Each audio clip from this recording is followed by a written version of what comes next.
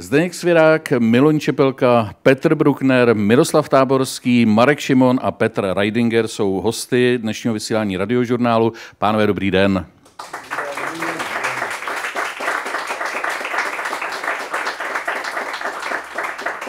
Zdravím také publikum tady u nás v kavárně na Vinohradské třídě v Praze, protože vysíláme z naší kavárny, jak jinak by se mohla jmenovat než Radio Café. Já jsem rád, že jste přijali naše pozvání, byť ono je to trošku časově zmatečné. Teď, když si budeme povídat, tak nás mohou vidět diváci na YouTube kanálu Radiožurnálu živě. Besedu budeme vysílat ze záznamu v 19 hodin na radiožurnálu. To vy už budete v divadle vlastně hrát první představení letošní sezóny. Trošku opatrně se ptám, je to 55. sezóna? Nechci teď sem vnášet nesoulad, ale nemohli jste se na tom úplně zpočátku domluvit. Zdeněk Svěrák rozvážně bere mikrofon do ruky a přemýšlí, jak to diplomaticky říct. Já už jsem si to s Miloněm vyříkal. Jediným odpůrcem té myšlenky, že to je 55. sezóna, byl Milon Čepelka a my mu tak důvěřujeme a nechtěli jsme ho zklamat, tak jsme říkali, dobře, není, ale pak se to spočítalo z několika míst a je to a on to uznal. Já jsem uznal, že je to 55. sezóna, ale neuznal jsem, že se má slavit, když ji začínáme. Protože když se člověk narodí, tak je to sice sláva, ale první eh, narozeniny jsou, až když ten rok dovrší. Čili my bychom měli slavit, až dovršíme 55. sezónu.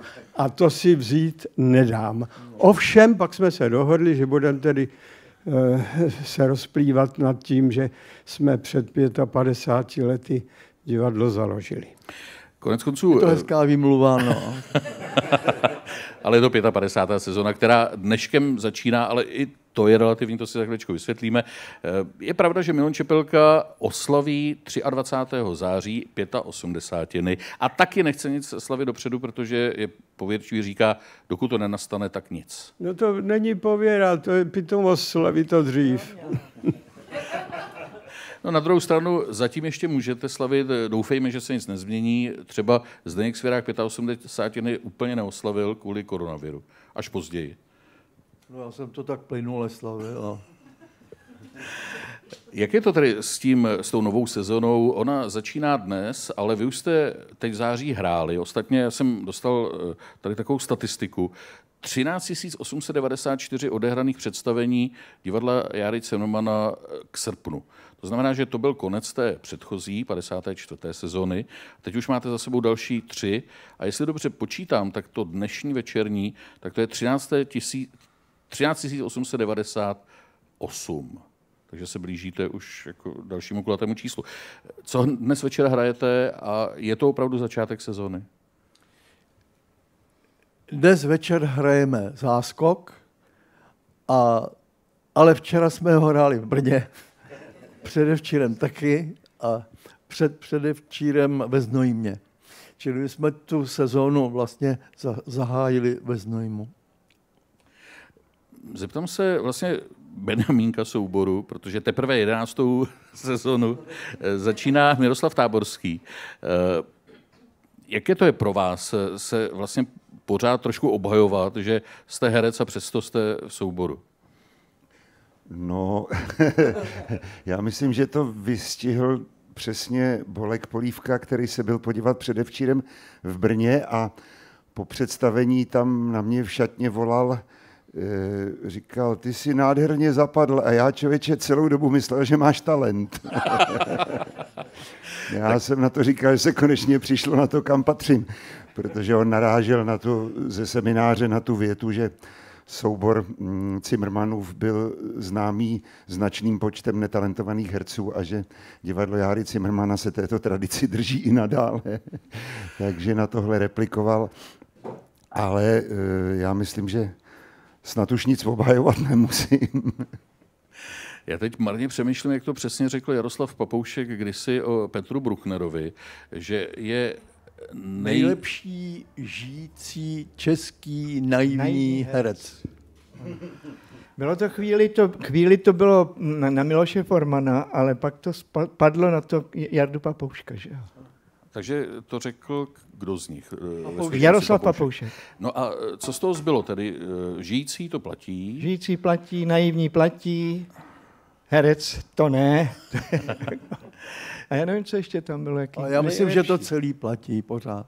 celý to platí. Otázka, protože to neherectví, to se pořád eh, probírá, ale přece nemůže existovat eh, divadlo 55. tou sezónu, pardon, eh, aniž by tam hráli herci. Jak to je tedy s tím neherectvím? Mně říkal kdysi Miloš Kopecký, když jsme se ho ptali v malostranské besedě, jestli jsme herci nebo neherci, a on měl ten názor, že herec je každý, kdo umí předstoupit před lidi a není trapnej.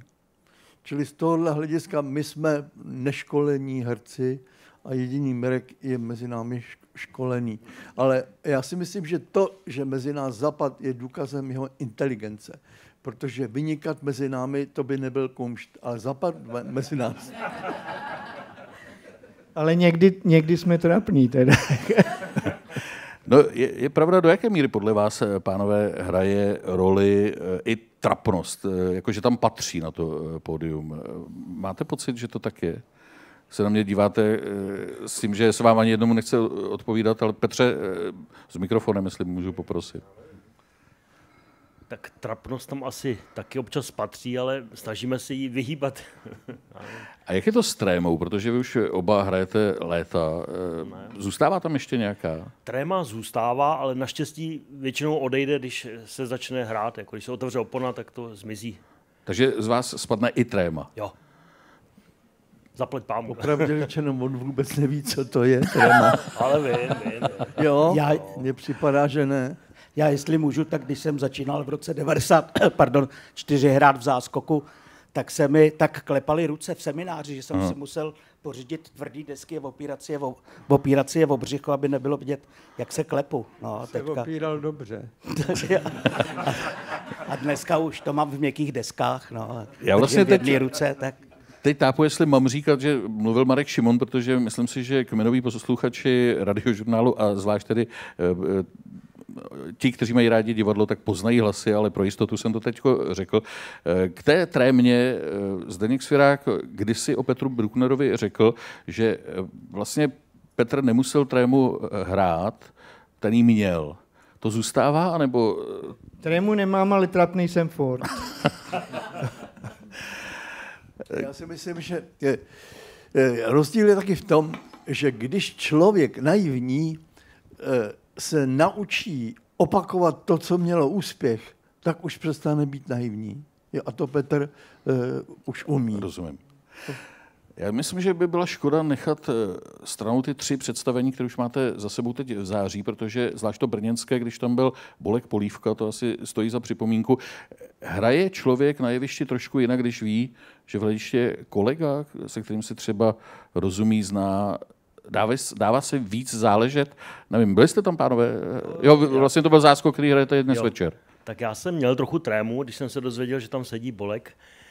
A, ale protože to bylo vlastně poprvé, já tam jezdím 30 let a, a bylo to poprvé, kdy on byl na představení, co já jsem zažil. Jako, takže jsem měl trému, ale dobře to dopadlo, takže chválil nás. Zeptám se Marka Šimona, vyhledává člověk třeba, když ví, a teď obecně nemusíme se bavit jenom o Bolku Polívkovi, eh, když ví, že tam je třeba kamarád, eh, se přišel podívat, anebo to v tu chvíli vůbec nevnímá, kdo je v publiku? No, ze začátku to vnímám, ale snažím se na to nemyslet, no, že já mám třeba, nejsem rád, když tam mám nějaký příbuzný a, a teď potom poslouchat, co jsem dělal blbě, nebo jsem byl trapnej. Nevadí kamarád, ale vadí manželka, když je tam No, třeba. manžel, manželky vaděj, no. A co, co, co je jinak v tu chvíli, Petře? No, to je, mm, že, že potom by říká, zase si mluvil rychle. Zase, nebo vždycky tam něco najde, no. Já jí nesmím říkat, když se tohle bude opakovat. ale- No tak ona už ví, že dnes eh, v 19 hodin vysíláme eh, premiéru a v divadle asi nebude, na, eh, protože bude jinde, to bychom Ano, ano, ano, možná ano. mohli říct. Eh, Petr Bruckner má dnes, a nevím, jak jste to nakonec takto domluvili, protože zbytek divadla hraje, eh, vernisáž svojí výstavy fotografické a to je, eh, jmenuje se to Jen tak jsem šel kolem a bude to v Czech fotocentru dnes v tu dobu, ano, kdy zbytek ano. kamarádů bude na zrovna, zrovna v 6 hodin, kdy vy budete nastupovat, ne, ne, ještě nebudete nastupovat, ale nějak se to prostě semlelo, že ta vernisáž už byla připravená dva měsíce dopředu a nebylo ještě připravený program divadla, no tak bohužel to takhle vyšlo. No. Řekli jste, že je to v Butovicích? Je to ano, je to v Nových Butovicích, v Čech fotocentru. Stará výstava. Výstava. Eh, jak, ne, takhle, eh, ona je to výstava vlastně eh, v podstatě profil Petra Brucknera jako fotografa, ale výtvarníka taky. Co tam ano, všechno ano, bude ano. k vidění?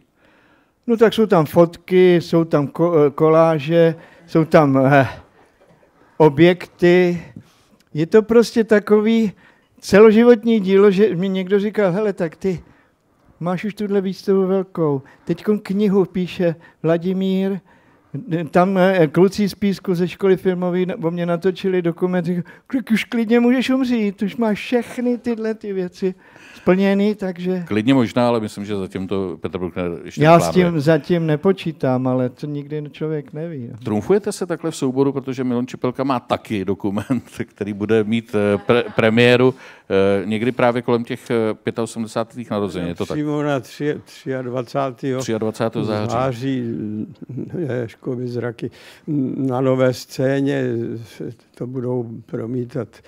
To budu tak překvapen. Ale milé, já, já už to viděl, ten film. Jak se jmenuje nakonec? Štace? Nakonec se to jmenuje, oni to tak nazvali, Štace Miloně Čepelky. Štace Miloně Čepelky. No. Dozví se takhle... Nazvali to konečná štace. to je trošku otázka, ano. Zdeňku Svěráku, jaký ten film tedy je, když říkáte, že jste ho už viděl, ten dokument o Miloně Čepelkovi? Je, je, je moc hezký. Je si tam podobný? Miloně hezký. Já myslím, že, že, že diváci budou překvapení, protože eh, Miloně Miláček divadla jako herec a, a je komik a ten film ukáže, že to je jenom jedna eh, stránka jeho osobnosti, že on je v podstatě lirik a básník a smutný člověk. Já, já takhle lezu dolů do židle. No. Miloni, dozvěděl jste se tam o sobě třeba něco nového v tom dokumentu? Já ho neviděl. ještě neviděl. Já vůbec, já ho nechci vidět. A jak to, že, jo takhle. Vidět. Já jsem to viděl, protože kameru dělal můj vnuk František Svěrák a taky to střihal, no takže mi to pustili. Oni byli fajn všichni, co to dělali. Oba vnuci a pan režisér Patrik Ulrich a ještě Maria, Tom, ale jak se jmenoval dál, nevím, který pouštěl na mě, eh, jak se to jmenuje, když to lítá? Dron. Dron. To nebylo, to nebylo přímo na vás, ne? To bylo jako... No nade mnou, no, nade mnou, za mnou, okolo mě. tak teď ale nevím, jestli Petr Bruckner, když eh, o něm točili dokument eh, Život hledáčkem Petra Brucknera, jestli taky tam měl dron. To má Miloně ne, asi tam nebyl výhodu. dron, my jsme, a samozřejmě, kde se to, kde se to točilo jinde než Písku, že jo? A, ono se to málo divadle, ví, ale... Eh, divadle a Brandýse. Petr Bruckner ale... je uh, rodák z Písku a je na to pišný a kdo vlastně není z Písku, tak eh, neví o tom, že má nějaký vztah k tomu městu. Že jo? No ano, nás je tam hodně těch, těchto těch, neříkám slavných, ale známých.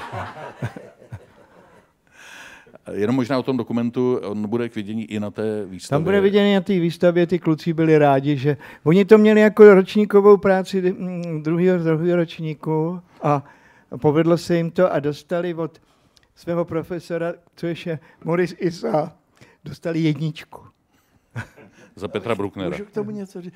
Eh, divadlo Járy Cimrmana eh, bylo založeno vlastně v rozhlase, v československém rozhlase ale ne v téhle budově, ale v detašovaném pracovišti tehdejší ve ulici dnes Dykova 14.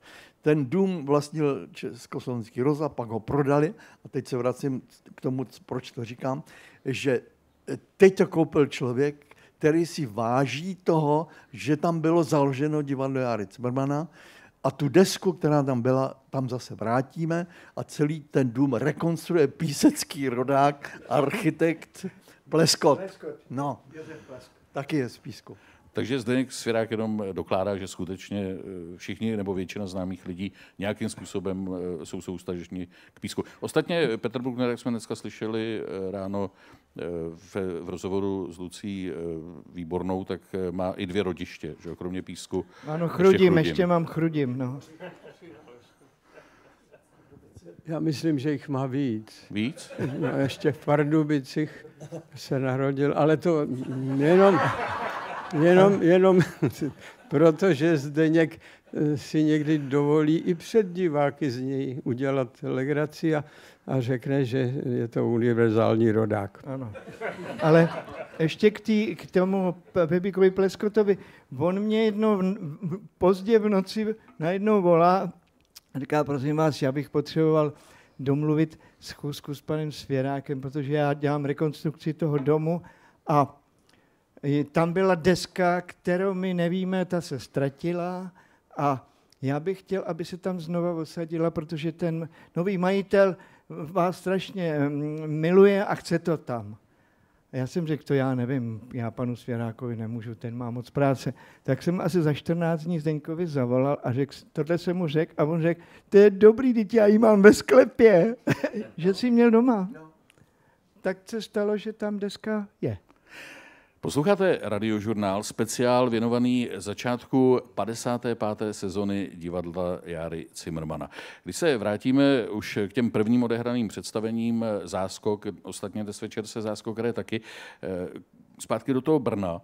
Eh, jak vlastně reagoval Bolek Polívka? Bylo to poprvé, co vás takto viděl? Nebo... Ale ne, ne, on na nás chodil kdysi, ale teď vždycky někde hrál hmm. jinde, buď v Bratislavě nebo v Praze, a takže tentokrát se to hodilo, tak přišel s manželkou a když eh, po skončení eh, představení vešel do šatny, tak říkal, nádhera, pro mladé jste příkladem a pro staré jste nadějí. No, eh, ono o té naději to asi hodně je. Konec konců Milan Čepelka už o tom mluvil, že by se nemělo oslovat začátek sezony, ale až, až ten, ten konec. Budeme doufat, že bude zase normální, obvyklá. Eh, ta koronakrize nás asi naučila vážit si toho, co jsme dřív považovali za samozřejmost. Eh, jak vlastně, a teď zase se vrátím k tady k pánům Petrovi Reidingerovi a Marku Šimonovi. Jak jste trávili tu dobu, kdy jste nemohli hrát, kdy vám to nebylo umožněno? Co jste dělali? Tak já jsem se ukrýval na chalupě a narval jsem si mrazák masem a vydržel jsem tam až do jara, kdy se mohlo hrát. Tak. Takže, jak jsem pochopil, divadlo vám nechybělo? Chybělo, jo, chybělo. jasně. My jsme si občas volali a sdělovali jsme si, jak se těšíme zase, až budeme. To chybí hrozně. No. To, si to člověk uvědomí teprve vlastně, vlastně až mm-hmm. s tou dlouhou dobou, kdy člověk do toho divadla nevstoupí. Tak. Jaké to bylo potom se vrátit, když jste mohl? No, těšení, ale zároveň obavy, jestli to tam v té hlavě zůstalo. Že? Zůstalo? Částečně jo. No. Takže je to trošku jako bruslení, že když se člověk no, zase vrátí na let. Tak... je člověk překvapený, že, že to tam asi zůstane, protože do poslední chvíle neví, jestli to opravdu vyplivne to slovo, no. že jo. Tak... Petr Eidinger to korona krize. nejdelší pauza vlastně, co jsme zažili hmm. u divadla, že by se, nevím, roka půl skoro se nehrálo. To bylo dlouhý. No. A z začátku jsme ještě neviděli, jak to bude s penězma, tak jsem nakoupil fazole, asi 10 kilo a vařil jsem dětem fazole asi dva měsíce a oni to furt jedli. A byl byl překvapený. Mareček měl maso a Petr měl fazole. Ano, ano.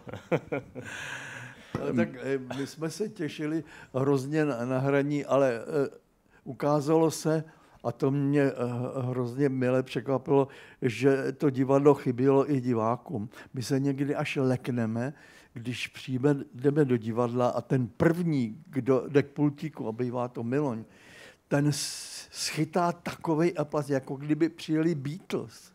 Jo, až se lekneme a on nevíme, co s tím, uklání se furt a oni šťastní, že už ještě, ještě žijeme a že zase bude legrace. No. No nemám k tomu co dodat, ale zrovna eh, v tom Brně první den To bylo strašný. Prostě to, to se člověk, tvářím se, že, že jsem rád, se tvářím. Ano, různě mávám, jako už to stačí. No, je to hezký, ale všeho moc škodí, všeho s mírou. Prosím vás, takže až přijete k Zimmermanům, netleskejte tolik. To ne zase. Ne, tak já, já jsem to pochopil, ale eh, je ten smích pod rouškou v něčem jiný? Poznáte vůbec, že se eh, ti lidé smějí? Protože publikum zatím ještě pořád musí mít, nebo mělo by mít eh, roušku. Já Ne? tedy nevím, jak ostatní, ale já mám takový dojem, že te- ta rouška to nějak ani netlumí příliš. Prostě, no, nebo přidávají na hlase. Nevím, Tam ani ale... moc nevidíme do, do lidí. Ale takže slyšíte a ten ohlas eh, je. Často na to zapomenem, že mají roušky. Já mám právě pocit, že když bylo eh, to omezené množství diváků v hledišti, že mohla být třeba jenom polovina, a ještě k tomu v rouškách, že oni podvědomně se snažili eh, nahradit ty, co tam nejsou. Takže jsme byli překvapení, že ty představení měly v podstatě skoro stejnou atmosféru jako při plném hledišti. Bylo to, bylo to hezký hrát i v, tě, i v téhle situaci, tak snad se nám nevrátí. Ale ten pohled náš do toho poloprázdného sálu, to, když jsem to viděl poprvé, tak to bylo deprimující teda. Když byly ty nejsme- restrikce. No, nejsme zvyklí, my díky rozhlasu jsme měli od, pr- od počátku furt vyprodáno, neustále. Jsme z Hejčka. No a takže, takže pohled do poloprázdného sálu byl pro nás nezvyklá věc. No. Miroslav Táborský strávil eh, tu dobu, kdy se nesmělo, tedy nemohlo hrát. Eh, Jak? Co jste dělal? No, taky tam byla chalupa, naštěstí. eh, Bez fazolí? A tak občas si fazole dáme. Ale měl jsem naštěstí, se na mě usmálo štěstí a udělal jsem za tu dobu asi 15 audioknih. A eh, v loni v létě jsem točil seriál, který teďka jde v televizi, ten se jmenuje Hvězdy nad hlavou. Takže to nebylo, řekněme, úplně pracovní a ekonomické strádání, ale já mám prostě nejradši divadlo, no a to divadlo mi opravdu chybělo. Ono- Ale ještě když jsem u toho, u toho Žižkovského divadla, eh, to bylo zábavný, každý divadlo to omezené hlediště řešilo jinak. Třeba v jednom divadle měli takový ty policejní barevní pásky, kterými vyznačili sedadla, kam si lidi nemají sedět a na Žižkově to vyřešili tou potravinářskou folií.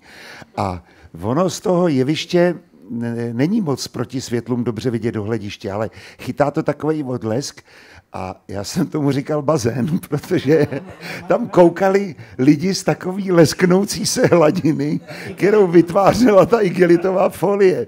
Tak na to docela tak jako mám hezkou vzpomínku. Petr Bruckner uklízel po dobu eh, koronaviru, dělal si pořádek ve fotkách. si, já jsem to ze začátku, eh, protože jsem byl nejdřív testovaný, potom jsme to prodělali, pak jsem byl znova testovaný, pak jsem byl očkovaný dvakrát, takže já jsem, počítám, že jsem asi zdravý. Ale já jsem to ze začátku vítal, protože já jsem si udělal doma pořádek. Moje žena to taky kvitovala, já jsem si udělal pořádek v archivu, utřel jsem prach a takový. Takže ze začátku, ale to jsem vydržel asi tak tři neděle měsíc a pak už to začalo nudit. Ostatně eh, já jsem se dozvěděl, že Petr Bruckner eh, je takový pořádku milovný člověk a rád, má, rád vidí práci hned hotovou. To znamená třeba, když jste hrál kombajnéra, tak eh, jste měl pocit, že eh, ta práce hned eh, Ano, ano, je vidět ty- ten výsledek. ty- ty- ty- A taková trošku úchylka, jak bych si to sám pro sebe nazval, je touha vysypat... eh, Je luxování, ano, ano. To je touha děrovačku? vysypat na koberec ty, ty, eh, takový ty papírky ze děrovačky. A potom tím luxem, jak člověk jezdí, ten nádher, jak se to čistí. No a tohle to, to mám rád. No. A dě, děje se mu to často tohle? Oni u mě doma ne, ne, nebyli. Mě by zajímalo, eh, protože jsem byl trošku varován, že ne vždycky a všechno, co Petr Bruckner vypráví, eh, tak musí být eh, doslova pravda. On se neřídí tím, že, eh, nebo řídí se naopak tím, že pravda někdy historku zabíjí. No, pravda je hezká věc, ale někdy je to nuda. Jak často takzvaně boučkuje, jak to vzniklo vlastně to, tohleto označení, Zdeňku? No, Petr e, e, má talent vypoentovat to, co se stalo, a aby byl smích, aby to mělo tu poentu, tak musí tu skutečnost změnit. No a e, říkáme tomu, že boučkuje, protože ve hře dobytí severního pólu on hraje lékárníka a pořád vzpomíná na kolegu Boučka, a takže že to, proto to boučkování.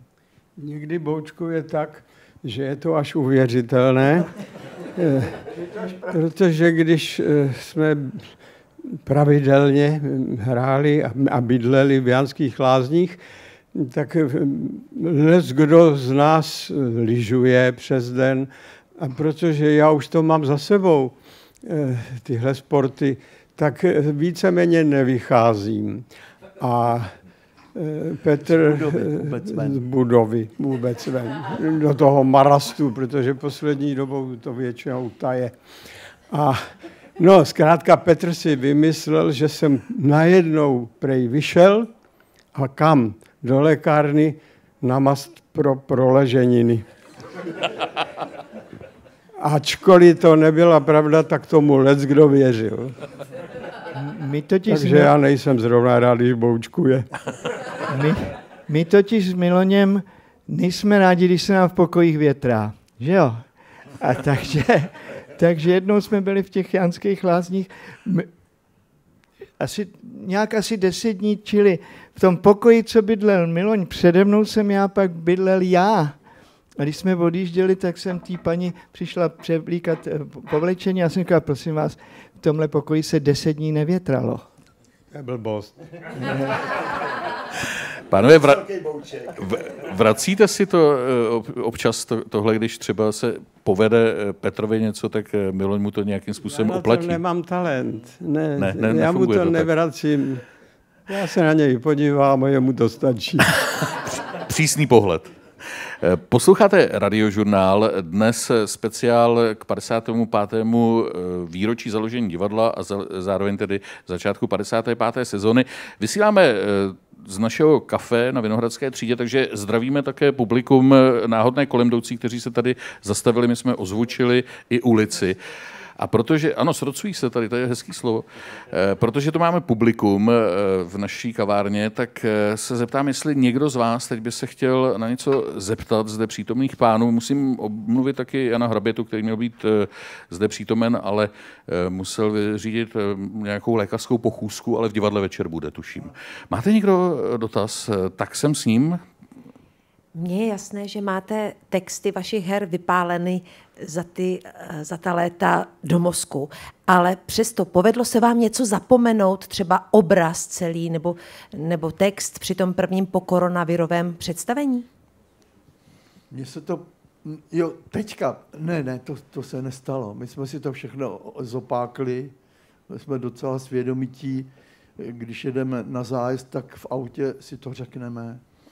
Takže nebyl žádný malér. Mně se to teď stalo, jak v hospodě na mítince a zapomněl jsem jenom asi jednu větu, nebo, ale bylo to dost podstatný, no.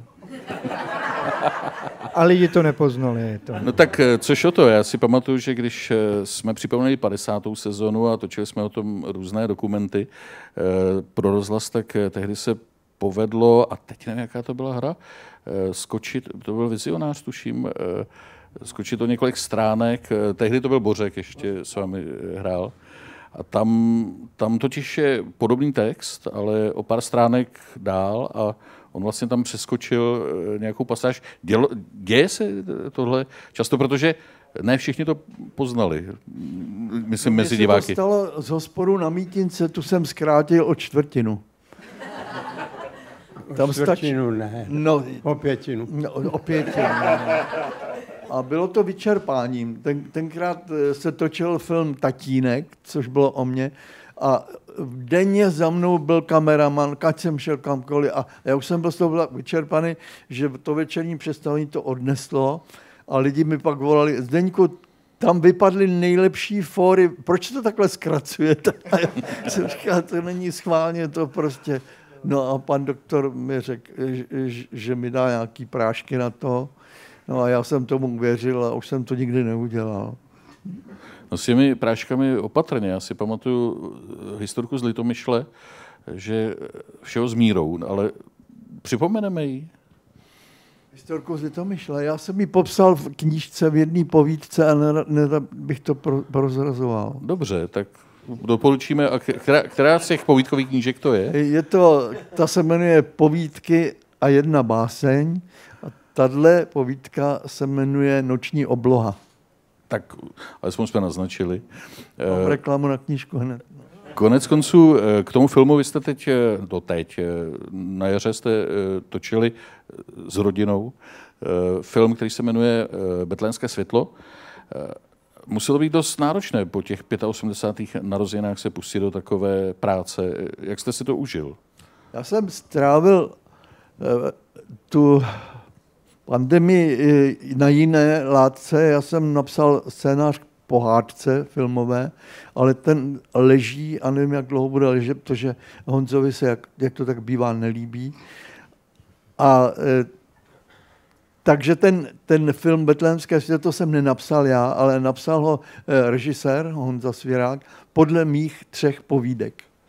Takže my jsme se sešli e, na to, abychom ten jeho scénář takzvaně proveselili a to bylo asi deset setkání a bylo to báječná spolupráce. Já jsem si vzpomněl na chvíli, kdy jsme psávali ve dvojici, buď s Láďou, s Miloním jsme taky, taky nějaký čas psali, že to je prostě nádhera ve dvou dělat, dělat eh, scénář, protože jeden eh, druhého může tím smíchem ujistit, že to opravdu vtipný je.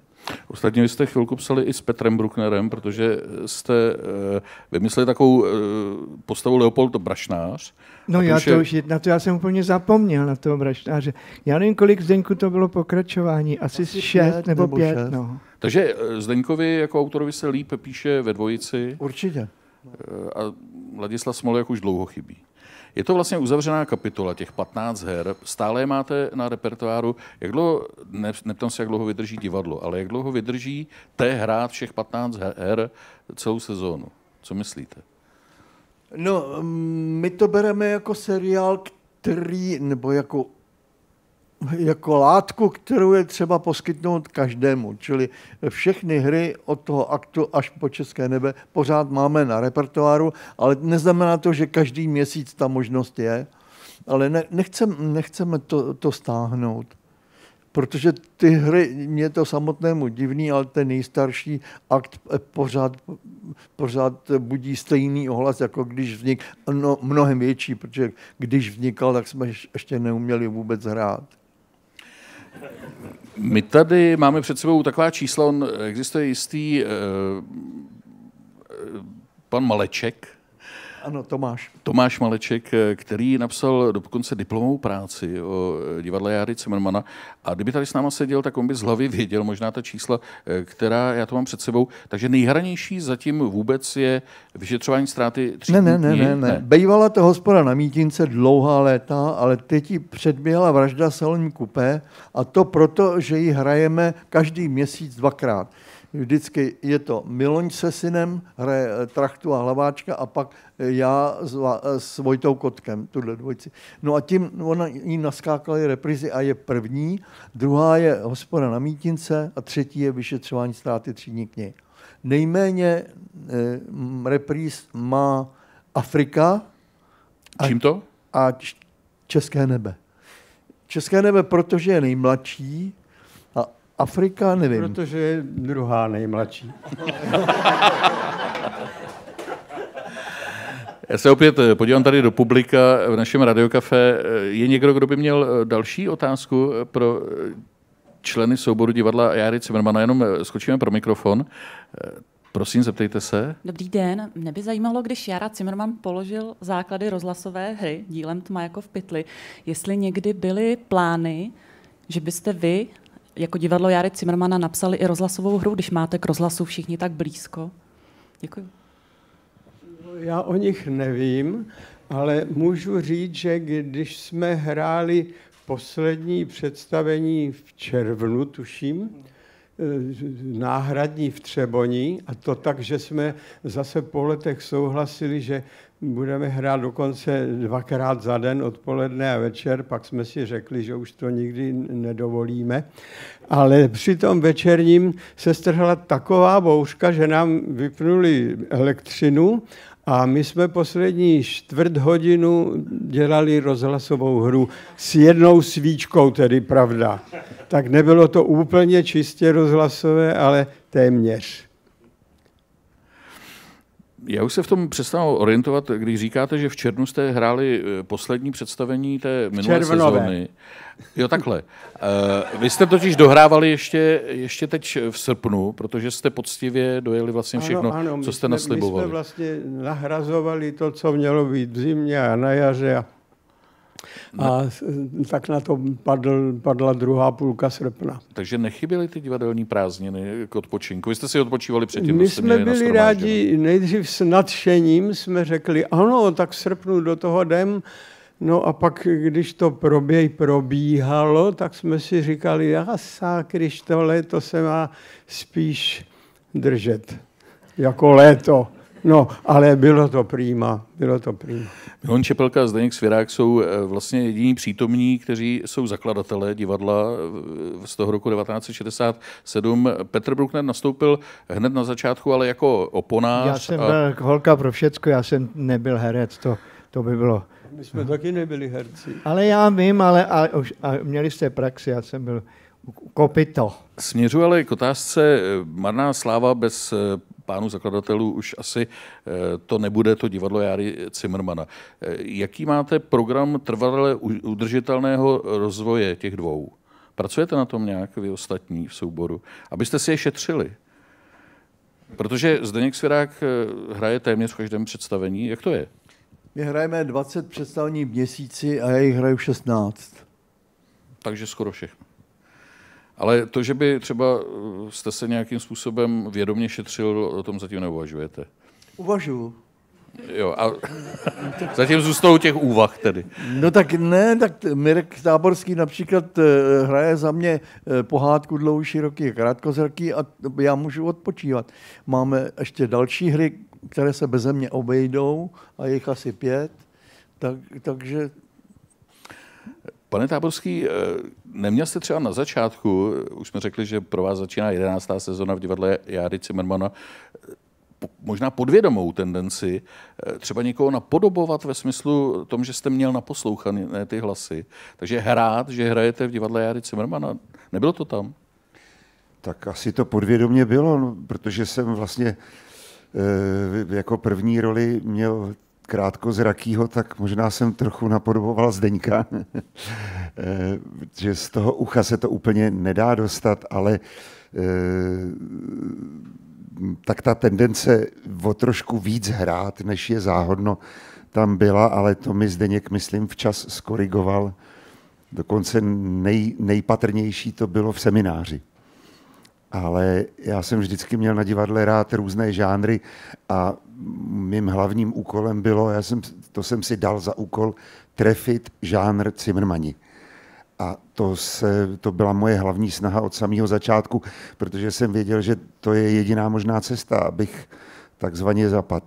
A co jste si tehdy vlastně pomyslel, když jste dostal tu nabídku, když jste byl osloven? No pomyslel jsem si, že to je blbost, že to nejde.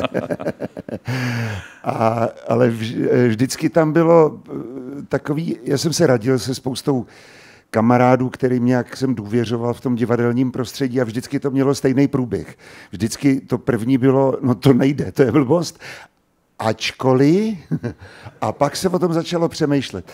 Takže přesto ačkoliv jsem se dostal k tomu, že jsem Zdeňkovu nabídku přijal, ale s podmínkou, s podmínkou, že to zkusím a kdyby to nefungovalo, kdyby to nepasovalo, tak ať mi to klidně řekne a já jako nerozladěn odejdu a poděkuju za tu, za tu nabídku a šanci. Ale stejně jsem si hrozně přál, aby se to nestalo. Jak vás to vůbec, u Zdeňku, toho, u napadlo? toho Mirka to bylo zvláštní a já to, já to chápu. On je herec, který dostane text a teď se snaží z něho něco vymačkat, dát mu to, to co potřebuje, ale ten seminář, ten vyžaduje, aby člověk jenom přečet text, který je sice vtipný, ale jakékoliv hraní a to, to tomu škodí. Jo? A, a teď eh, herec, když dostane tento úkol, tak začne hrát řečníka. Ale to nejde u nás. U nás nesmí nic hrát, musí to být on, který ten seminář přečte. No a takže jsem musel furt krotit, aby negestilkoval a, a nedělal někoho jiného, až je to táborský a už je náš. Takže už vám neříkají Uber, nehraj. Ne, ne, ne. A čím je pro vás teď, tedy na začátku pro vás 11. jinak 55. sezóny divadlo Jára, Járy Cimmermana, protože pro vás není jediné, že? Tak eh, není to jediné divadlo, ale je to takový ostrov radosti. Já se vždycky hrozně těším, protože ty představení ještě navíc probíhají v takové atmosféře, o jaké jsme tady před chvíli mluvili. Takže mm, já, to je takový, to mě dostává do rozpaku, když tady sedějí, jo, kdyby třeba šli na chvilku. Co toho pryč. Ono by se to k ní stejně doneslo, řekněte to. Veřejně jim tady pochlebovat. No je mi s nima dobře, hrozně se na to vždycky těším, na to představení.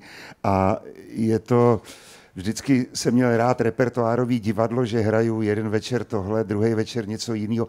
No tak v tom měsíci vždycky se kouknu, kolikrát budu mít tento typ radosti a na to se moc těším.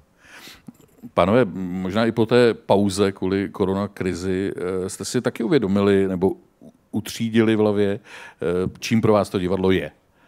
Petr Reidinger, čím je pro vás divadlo Járy Zimmermana? Tak pro mě je to láska veliká, protože jsem s tím vyrůstal vlastně. Můj bratr mi koupil, jako když jsem byl malý kluk, eh, kazetu s pohádkou Dlouhý, široký a krátkozraký.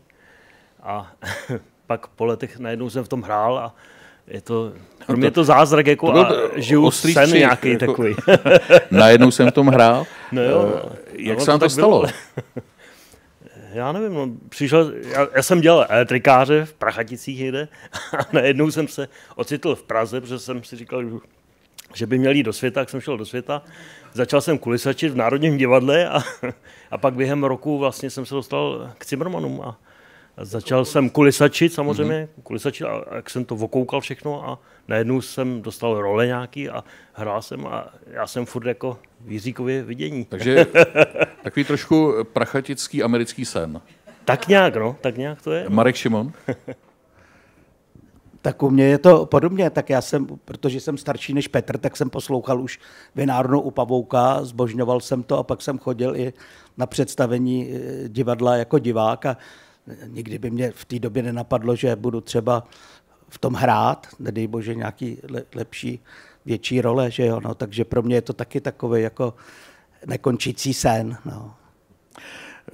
Petr Bruckner, tak to divadlo je vlastně celý život. Já, já teď, když mluví pe, tamhle Peťa o, o tom kulisačení, já jsem si vzpomněl, že mm, jednou ještě, to bylo úplně při prvních představeních, Eh, kdy tam ještě dozorovala nás Helena Filipová. Mm-hmm. Jedna ze zakladatelů. Ano, divadla. Helena Filipová a že nám jednou vyprávěla, že se zřejmě někdo dověděl, že bylo založené nový divadlo a že by se hlásil k nám jako kulisák. A ona prý mu zkázala, no rádi bychom vás vzali a prosím vás, jestli má, doma máte nějakou kulisu, tak ji vemte sebou.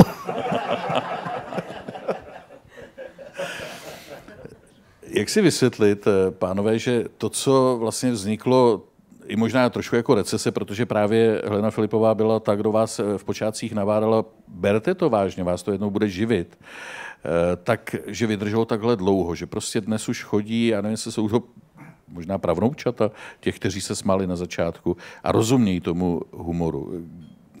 Kde je ten klíč? Já si myslím, že ještě tady nepadlo jméno, který by tady padlo mělo, a to je jméno Jiří Šebánek. Kdyby se v jeho hlavě nezrodil nápad založit divadlo, tak bychom tady neseděli a těch 25, 55 let by nebylo. Ale ani on, myslím, že mi Miloň dá zapravdu, nemohl tušit, že, že ten nápad bude mít tak dlouhou životnost. A já si o tom přemýšlím a říkám si, či, čím to je a docházím k závěru, že se tu začalo pokračovat v humoru, jehož první brázdy eh, eh, vyorali Voskovec s Merichem.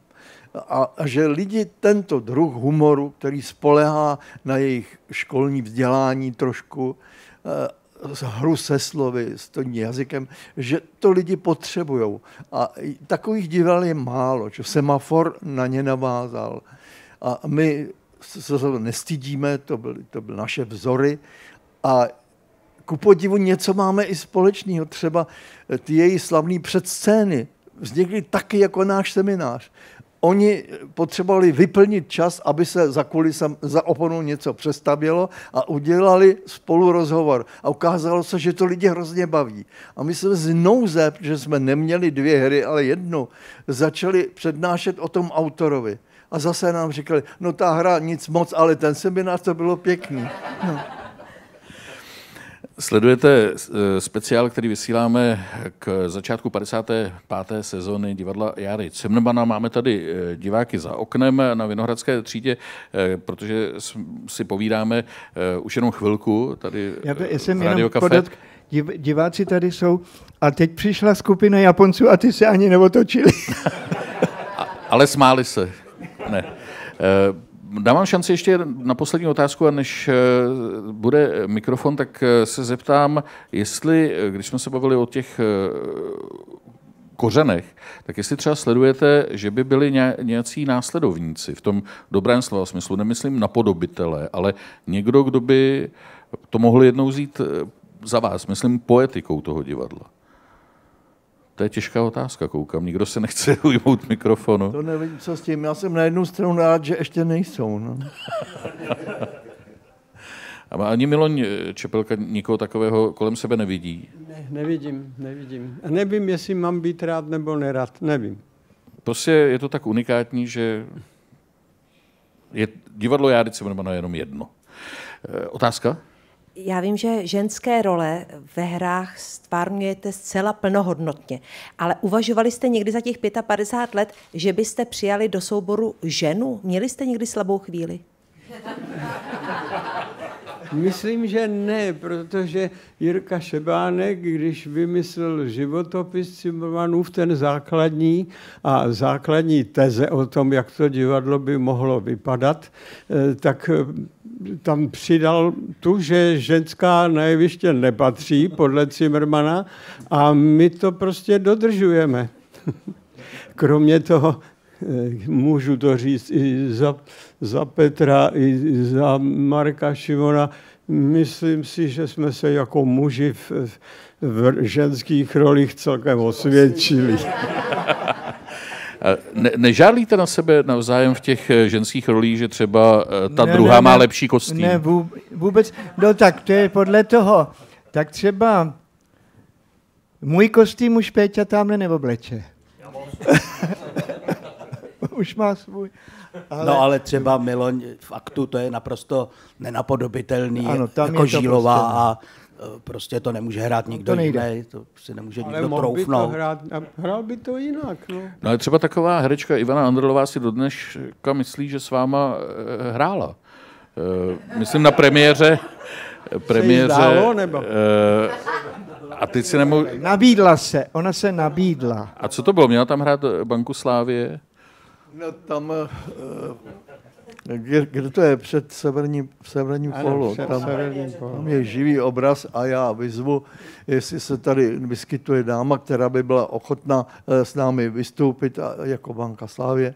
A je tady jedna malá podmínka, že musí být nahá. A předpokládal jsem, že se nezvedne žádná ruka. A najednou přišla Andrlová, že by to chtěla. A já, my jsme s tím opravdu nepočítali, já byl bezradný a říkal jsem, slyšela jste dobře, že musíte být nahá? Ano, slyšela. A chcete? Ano, chci. Tak jsem řekl, tak jděte se svlíknout do zákulisí a kluk, klukům jsem říkal, držte a nepuste ji někam. No a prý to udělala ze zvědavosti, co to s náma udělá. No. Tak je pravda, že když jsme tady otevřeli tu ženskou otázku, tak eh, že eh, pro vás eh, vlastně nejenom záštitou jsou ženy doma, ale taky častou inspirací. možná to ani netušíme, že spousta historek nebo hlášek, a nejenom tedy samozřejmě v divadle, možná spíš ve scénářích, tak jsou z úst vašich manželek. To je... A nejen to, i ten způsob hraní. Třeba já jsem pozoroval Pavla Družku i Miloně Čepelku, ti kopírovali svoje maminky. Možná, že tom ani nevíš, ale když jdeš... Když hraješ starou paní, tak to, je, to se ani, a jaký, jaký obšlehnul maminku krásně. My se za chvíličku budeme loučit. Setkali jsme se právě proto, že dnes začíná pražské představení, tedy pražským představením sezona eh, divadla Jary Cimrmana, ta 55. Kdy jste se setkali v pátek, eh, vy máte vždycky takovou schůzi, myslím, že tomu říkáte, na začátek eh, té sezony. Jaké to bylo setkání? Tak už jste vlastně spolu jezdili na, na zájezdy teď, takže už to nebylo tak, že byste se objímali, že jste se dlouho neviděli. S čím jste do té sezony tedy vstoupili na té, na té zahajovací schůzi? No, já vás klamu, já jsem řekl, kluci, já ani nevím, co by vám řekl, protože my jsme denně hráli, takže to, tolikrát jsme se viděli, no, takže jsme snědli chlebíčky a rozešli jsme se do svých domovů. No a přání, jaká by měla být ta, ta sezona, co bychom vám měli vlastně popřát? Jak si ji představujete? Popřejte nám zdraví a abychom dlouho nebyli trapní.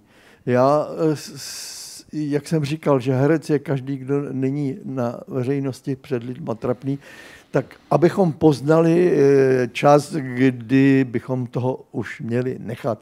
Ale já se bojím, že to nepoznáme, i když nám to budete přát, protože my to tak milujeme, že budeme hrát jako naši, kteří už jsou v nebi, Láďa Smoljak, Bajgl a tak dále, až do smrti.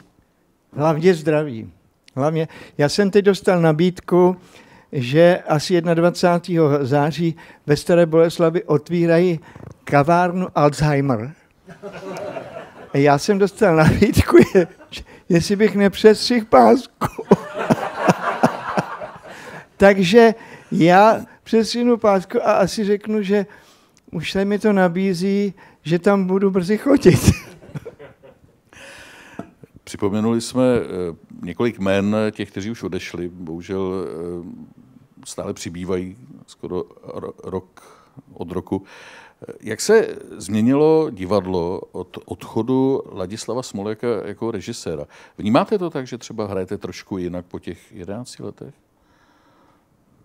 Že, se, že je tam něco My jiného? se snažíme do, dodržet to, co Láďa měl, měl rád, ale je pravda, že už se nebojíme, eh, já se třeba nebojím přehrávat co, co, což on, on by mě skrouhnul.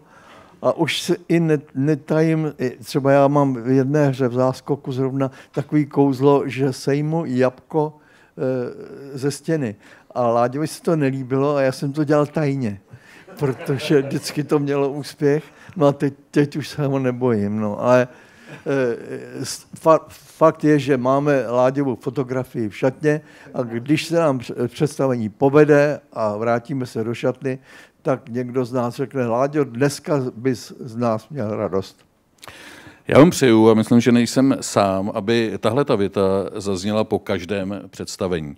Takže, eh, pánové, moc děkuji. Petr Reidinger, eh, Marek Šimon, Miroslav Táborský, Petr Bruckner.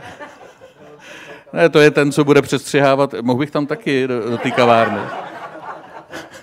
Milan Čepelka. Zdeněk Svirák, dnes je možná už uvidíte na zajovacím představení v Praze Záskok a jinak přeju za nás všechny tady v Radio Cafe, ať ta 55. sezona divadla Járy Cimrmana vyjde. Mějte se hezky, nashledanou.